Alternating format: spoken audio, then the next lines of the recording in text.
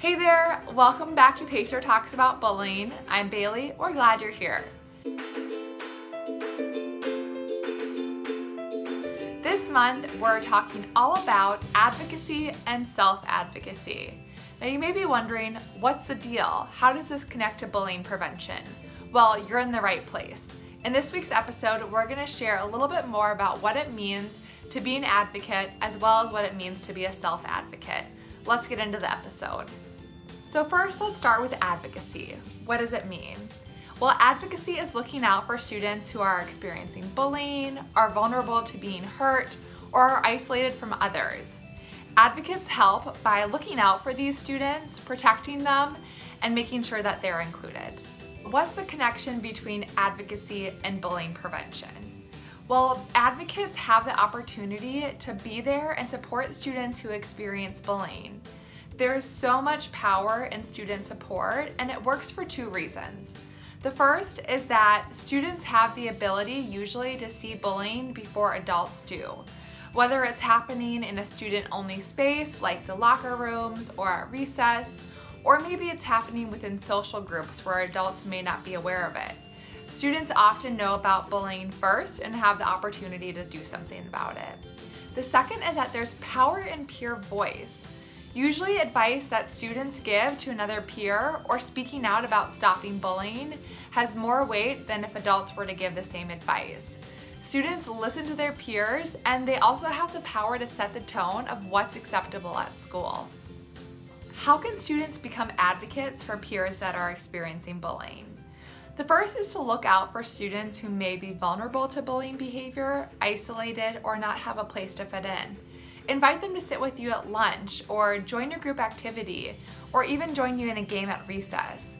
It's great when students have a place where they feel like they belong. If you do see a student who is experiencing bullying, there's a few things that you could do. If it feels safe, you could help them get away from the situation or say something to the person that's doing the bullying behavior. You could also let a teacher know or privately go up to them and let them know that you saw what happened and that it's not their fault and that they don't deserve to be bullied. Now that we've talked a little bit about what it means to advocate for others, let's talk about what it means to advocate for yourself. Self-advocacy is communicating on your own behalf about what you need and taking action in a direct and respectful way. The connection between self-advocacy and bullying prevention is that self-advocacy empowers students to protect themselves from bullying. Self-advocacy is such an important skill because it allows students to be involved in the decision-making process, to say no and be okay with it, and tell others what they need to feel safe and supported at school.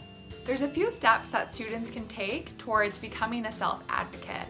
The first is knowing that they have the right to be safe and supported at school.